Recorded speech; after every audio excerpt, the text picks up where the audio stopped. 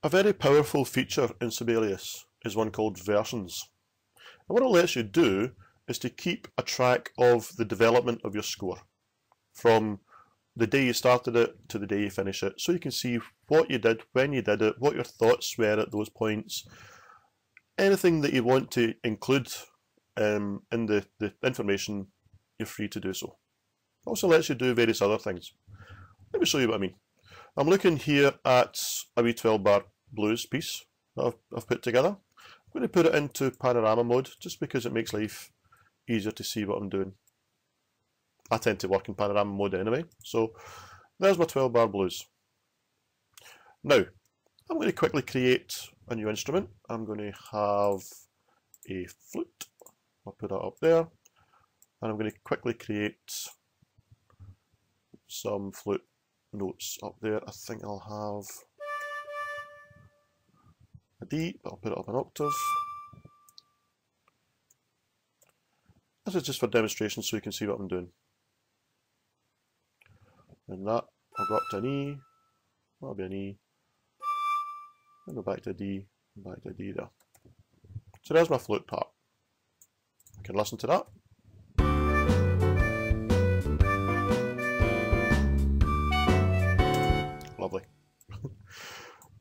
Not. Anyway, what I want to do now is to go to the View tab. What I could, I suppose, do is first of all is go to File, Save As, and then save it as versions added flute. But I can go to the Review tab instead and do a new version. This here is my versions area. So I can do a new version. I'll ask me what I want to call this, and I'm going to call this flute. And I can put a comment in there.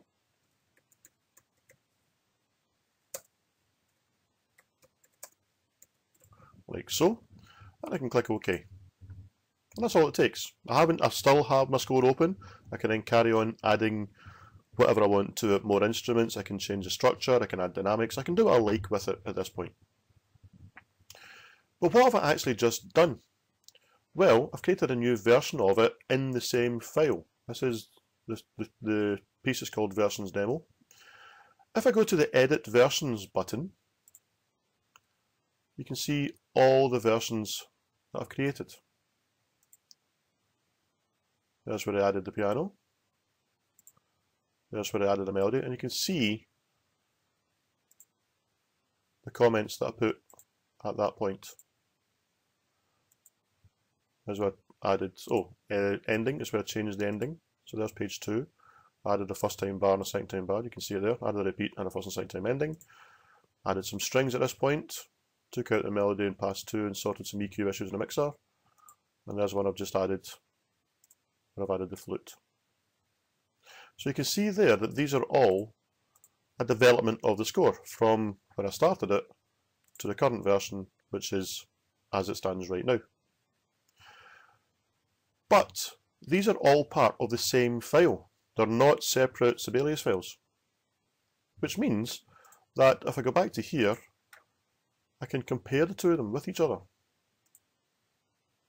So let's go for, I want to compare the flute version with the strings version. And that then opens up both scores and tells me what I did between the two of them.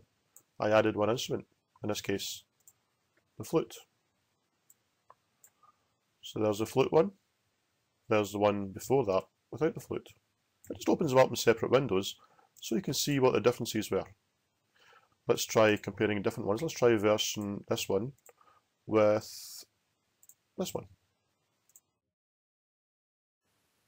There you go, between those two versions I added two instruments and I added text to one bar. That one bar incidentally was this text here and it's highlighted to show me what it was. One thing to notice is the background paper that it's written on. This one is on normal paper, as you would as you would call it. This one here, the paper looks crumpled. That's because this isn't the current version. So I've discarded that. I've moved on to this one. This is the, the newest version of the score. When I'm happy with any of these, I can just close that down, we maximise this and I'm back to where I was. So I can compare the differences between the two. I can also use the, the previous and next differences so I can see what the changes were between my PCs.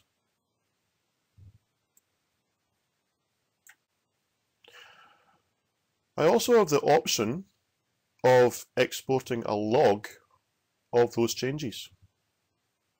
Now this could be handy as a teacher, for example, if you want to, um, if you're coming up to a parents' evening and you want to show the parents exactly what a particular person has done over the course of the week, the year, the term, whatever, you can do this and it'll create an RTF file which you can open in a Word document and away you go from there. You can decide what you want to put in there as well.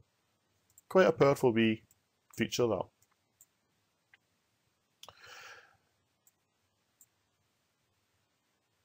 Of course, as a teacher, another way you could use it would be to use the comments along with the scores.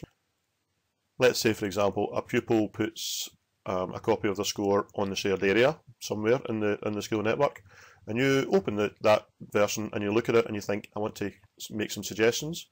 Well, you could do a comment. Um,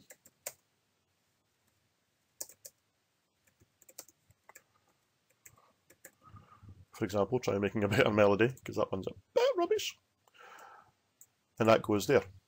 And then you can then save the version. There's a new version and you can call this added comment. So then whenever the pupil opens up, they will see the comment, hopefully make some changes because of that. Once they're happy with it, they can then delete the comment and they can create a new version of that as well. So you're always using it as a development process, as a development of the score, either as a, an individual, so you can keep a track of what you've done, or as a teacher, so you can keep a track of what the pupils have done. If we go back to the edit versions just for a second, you've now seen there's my added comment. One thing that I could do, instead of using the comments, which are like sticky um, post-it notes, what I could do, let's say for example if we get to the strings one here, you see down here in the comments area there's an add and an edit button. So I can click add, I can add a new comment. Um, I like the strings but try them on a guitar instead, for example.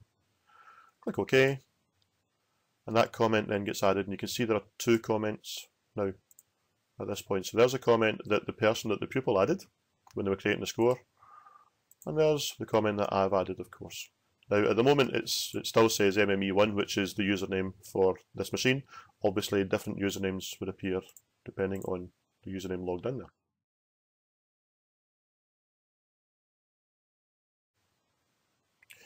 You may have seen as well that sometimes whenever you close a score down, Sibelius will automatically ask you if you want to save the current version of the score.